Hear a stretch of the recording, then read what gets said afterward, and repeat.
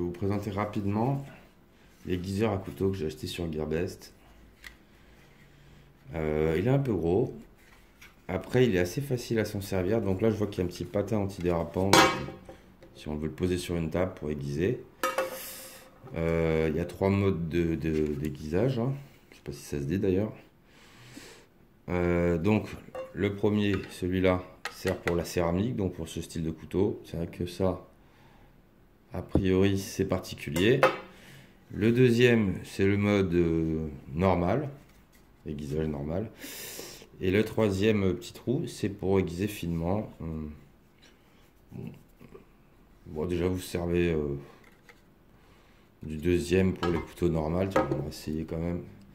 Je vais essayer qu'un laserman. Qui coupe encore un peu bien, mais je vais vite fait essayer. Donc voilà, hein, c'est bidon.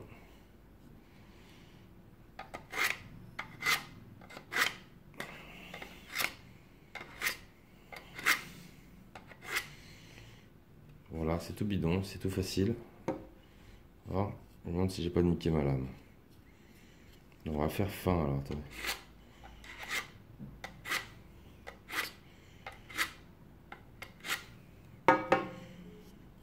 Si ça aiguise quand même, hein, ça aiguise correctement. celui-là, est-ce que je l'avais aiguisé? Ça marche pas trop mal, hein, franchement. Pas dépenser des milliers des cents, mais je sais pas combien de temps ça marchera, mais ça marche pas trop mal. Euh, donc je crois que j'avais vu. Voilà, c'est ça, j'avais vu quoi. On peut le démonter ça pour, pour le nettoyer. Après, ça doit laisser des copeaux. Euh, peut-être que ça peut encore plus se démonter. Voilà, ensemble. J'espère que je vais pas le péter. Non, ça se démonte pas plus. Hein. Là, on, prend, on le passe. Euh,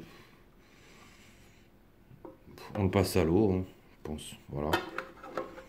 On c'est une petite option, une petite astuce. Voilà. Bon, c'est pas mal comme outil, bonne prise en main, tout le monde peut s'en servir. Je trouve que ça aiguise correctement. Je le trouve un peu gros, mais si ça marche, pourquoi pas. Voilà, ça c'était l'aiguiseur à couteau, qui a aucun nom euh, spécial. Aiguiseur à couteau Gearbest. Bon produit.